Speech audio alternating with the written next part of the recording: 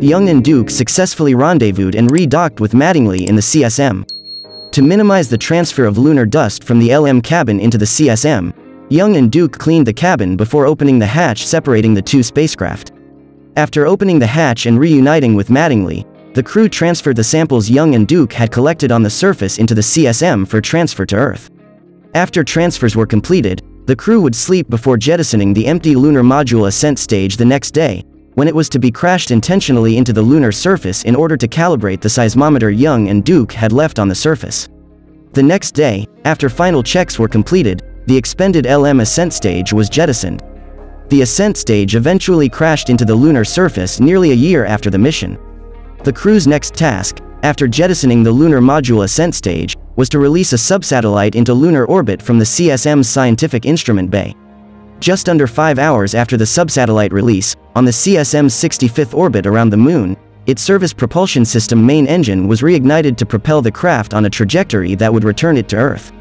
The SPS engine performed the burn flawlessly despite the malfunction that had delayed their landing several days previously. During the return to Earth, Mattingly performed an 83-minute EVA to retrieve film cassettes from the cameras in the sim bay, with assistance from Duke who remained at the command module's hatch.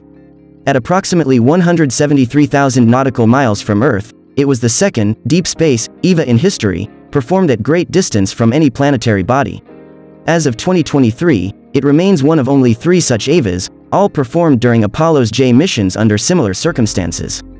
During the EVA, Mattingly set up a biological experiment, the Microbial Ecology Evaluation Device, an experiment unique to Apollo 16, to evaluate the response of microbes to the space environment. The crew carried out various housekeeping and maintenance tasks aboard the spacecraft and ate a meal before concluding the day. The penultimate day of the flight was largely spent performing experiments, aside from a 20-minute press conference during the second half of the day. During the press conference, the astronauts answered questions pertaining to several technical and non-technical aspects of the mission prepared and listed by priority at the Manned Spacecraft Center in Houston by journalists covering the flight. In addition to numerous housekeeping tasks, the astronauts prepared the spacecraft for its atmospheric re-entry the next day. At the end of the crew's final full day in space, the spacecraft was approximately 143,000 kilometers from Earth and closing at a rate of about 2,100 meters per second. When the wake-up call was issued to the crew for their final day in space by Capcom England, the CSM was about 45,000 nautical miles from Earth, traveling just over 2,700 meters per second. Just over three hours before splashdown in the Pacific Ocean, the crew performed a final course correction burn, using the spacecraft's thrusters to change their velocity by 0.43 meters per second. Approximately 10 minutes before re-entry into Earth's atmosphere, the cone-shaped command module containing the three crew members separated from the service module, which would burn up during re-entry. At 265 hours and 37 minutes into the mission, at a velocity of about 11,000 meters per second, Apollo 16 began atmospheric re-entry. At its maximum, the temperature of the heat shield was between 2200 and 2480 degrees Celsius. After successful parachute deployment and less than 14 minutes after re-entry began, the command module splashed down in the Pacific Ocean 350 kilometers southeast of the island of Kiritimati 265 hours, 51 minutes, 5 seconds after liftoff. One reason why Descartes had been selected was that it was visually different from previous Apollo landing sites, but rocks from there proved to be closely related to those from the Fra Mauro Formation, Apollo 14's landing site. These conclusions were informed by observations from Mattingly, the first CMP to use binoculars in his observations, who had seen that from the perspective of lunar orbit, there was nothing distinctive about the Descartes formation it fit right in with the Mare Imbrium structure. Other results gained from Apollo 16 included the discovery of two new auroral belts around Earth. Young and Duke served as backups for Apollo 17, and Duke retired from NASA in December 1975. On Monday, May 8, ground service equipment being used to empty the residual toxic reaction control system fuel in the command module tanks exploded in a naval air station hangar. 46 people were sent to the hospital for 24 to 48 hours observation, most suffering from inhalation of toxic fumes. Most seriously injured was a technician who suffered a fractured kneecap when a cart overturned on him.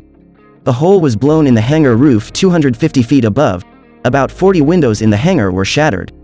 The command module suffered a 3-inch gash in one panel.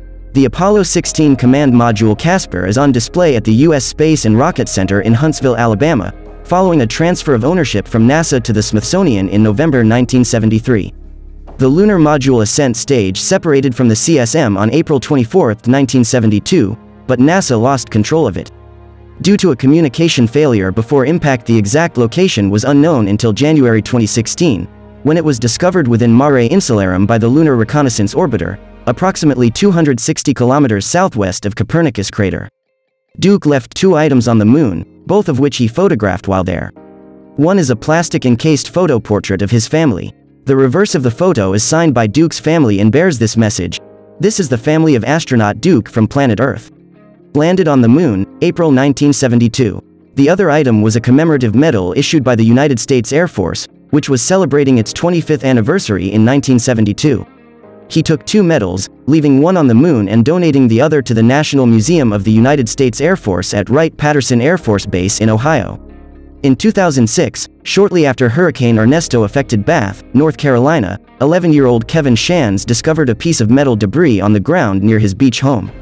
Shands and a friend discovered a stamp on the 91-centimeter flat metal sheet, which upon further inspection turned out to be a faded copy of the Apollo 16 mission insignia.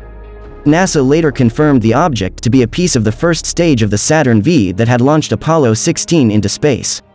In July 2011, after returning the piece of debris at NASA's request, 16-year-old Shands was given an all-access tour of the Kennedy Space Center and VIP seating for the launch of STS-135, the final mission of the Space Shuttle program.